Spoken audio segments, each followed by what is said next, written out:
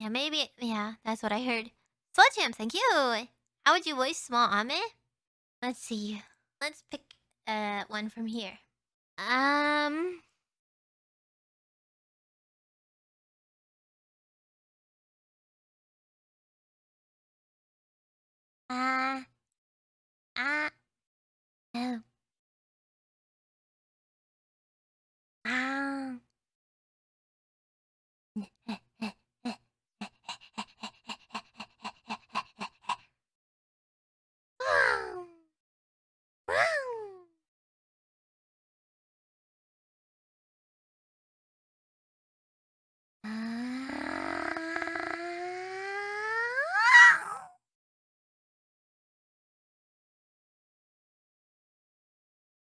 Ah, I don't think uh I don't think small Ame would speak.